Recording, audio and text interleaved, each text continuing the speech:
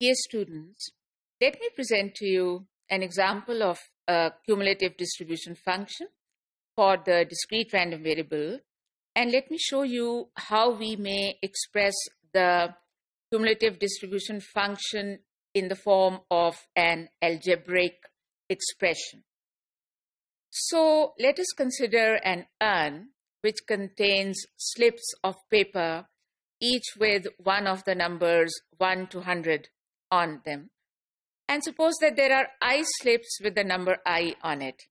यानी जिस स्लिप के ऊपर वन लिखा हुआ है वो एक ही है और दो स्लिप्स हैं जिनमें जिनके ऊपर दोनों के ऊपर टू लिखा हुआ है there are fifty one slips each having the number 51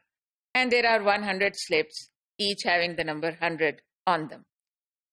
now um, if this is the scenario and then if we let x represent the number on the slip, which we may just choose at random out of all these slips. तो x, ज़ाहिर है कि वो हमारा ये जो random variable है it will go from one to hundred क्योंकि वो जो एक स्लिप थी जिस पे वन लिखा हुआ था और हंड्रेड स्लिप्स हैं जिस पे हंड्रेड लिखा हुआ है तो जब हम उठाएँगे तो वो उन्हीं में से कोई एक नंबर होगा। So then what is the scenario अगर हम टेबुलर फॉर्म में रिप्रेजेंट करें तो it is very easy but you know it's not always advisable to construct lengthy tables if we can express that same thing in a succinct algebraic formula that is actually preferable तो मैं आपके सामने रखती हूँ पहले वो table और उसके बाद आपको दिखाती हूँ वो simple formula which will be the replacement of this lengthy table इसको अंडरस्टैंड करने के लिए बात शुरू तो हम टेबल से ही करेंगे। So the very first column X contains the numbers 1, 2, 3, 4 up to 100. और उसके बाद second column the probabilities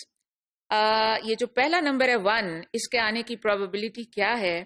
One over five zero five zero one over five thousand fifty Y because the total number of slips in that urn is 5050 ये मुझे कैसे पता चला by the simple uh, rule that we do at school level that the sum of the first n natural numbers is given by n into n plus 1 over 2 so 1 से 100 तक है हमारे 100 into 101 over 2 that gives us 5050 तो probability मैंने आपसे कहा कि जो पहला नंबर है एक्स की पहली वैल्यू वन उसकी प्रोबेबिलिटी है one by five zero five zero इसीलिए ना कि वो जो पाँच हज़ार पचास स्लिप्स उस अर्न के अंदर हैं, उनमें से सिर्फ़ एक है जिस पे वन लिखा हुआ है। So from the classical definition of probability ये जो आएगा रिज़ल्ट वो यही आएगा। अब जो अगला है एक्स इक्वल टू टू आपको याद है ना कि दो स्लिप्स हैं जिस जिन पे टू लिखा हुआ है। तो they for the probability of getting such a slip is given by two over five zero five zero इसी तरह चलते जाइए। जो आखिरी है हंड्रेड उसके लिए प्रोबेबिलिटी क्या आएगी? Hundred over five zero five zero अब आप इन सबको एड कर लीजिए। The sum has be one you know so now just add them and you get it 5050 divided by 5050 that is equal to 1 लेकिन मैं क्यूमुलेटिव डिस्ट्रीब्यूशन फ़ंक्शन का algebraic formula आपके सामने रखना चाहती हूँ। तो सबसे पहले एल्जेब्रिक फॉर्मूले से पहले let us construct another column and let us start cumulating these probabilities so that we can get the cumulative distribution function values तो उसका नाम हम रख देते हैं capital F of X first probability as it is one over five zero five zero इसमें add कीजिए अगली probability what do you get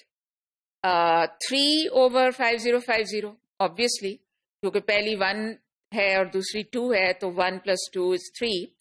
लेकिन students now in order to develop the formula I would like कि आप ये इस तरीके से ना करें, उसको थ्री ना लिखें. आप ऐसे ही लिखें कि one plus two five zero five zero just write it just like that अब इसमें ऐड करें अगली, और उसको भी इस तरह ही लंबा करके लिखिए। One plus two plus three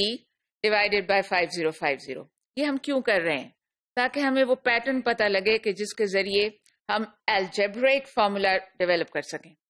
अच्छा जी, अगला कर लीजिए। One plus two plus three plus four over five zero five zero और आखिरी वाली क्या होगी? वही one plus two plus one so on plus one hundred over five zero five zero तो ये जो पैटर्न अब आपके सामने है क्या आप नोट नहीं कर रहे कि जो मेरी एक्स वैल्यू पहले कॉलम में लिखी हुई है आ, मैंने ये जो न्यूमरेटर के अंदर सम लिखा है उसका जो आखिरी नंबर सबसे बड़ा वाला नंबर है that is exactly the same as the X value in that in that same row यानी मिसाल के तौर पे दोबारा देख लीजिए। जिस वक्त x इक्वल टू थ्री है, उस वक्त मेरा कैपिटल एफ़ ऑफ़ एक्स क्या है? One plus two plus three over five zero five zero जिस वक्त मेरा एक्स फोर है, उस वक्त मेरा कैपिटल एफ़ ऑफ़ एक्स क्या है? One plus two plus three plus four over five zero five zero तो फिर ये फॉर्मूला क्या डेवलप हुआ? देखिए थ्री के केस में वन से थ्री तक जा रही हूँ so it's the sum of the first three natural numbers four के केस में वन से फोर तक जा रही हूँ so it is the sum of the first four natural numbers तो अब अगर इसको हम इस तरह डिनोट करें कि एक्स और उसके गिर्द हम ये जो स्ट्रेट ब्रैकेट है, जिसको कहते हैं, अगर हम वो उसके गिर्द डाल दें तो ये जो नोटेशन है we let this denote the greatest integer among those, then,